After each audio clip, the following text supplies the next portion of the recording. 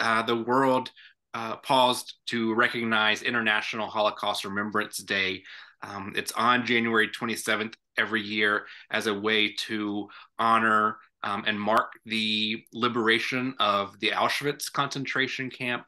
Um,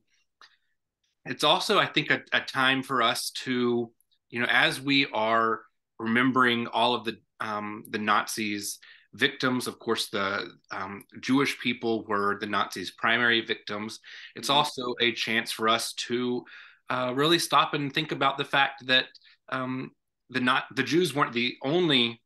um, victims of the Nazis, and and after the Holocaust was over, not all of the Nazis' victims were remembered and honored or commemorated equally, um, which really is the focus of my new book, Pink Triangle Legacies, as you said um, which you know focuses on the not only the experiences of LGBTQ folks during the era of the Holocaust, but also their decades-long struggle to achieve um, number one, just even recognition of the fact that they suffered um, and, and were persecuted during the Holocaust, but then you know the continued um, efforts and and campaign to to be officially recognized, um, commemorated, and even memorialized first in Germany and then then the rest of the world.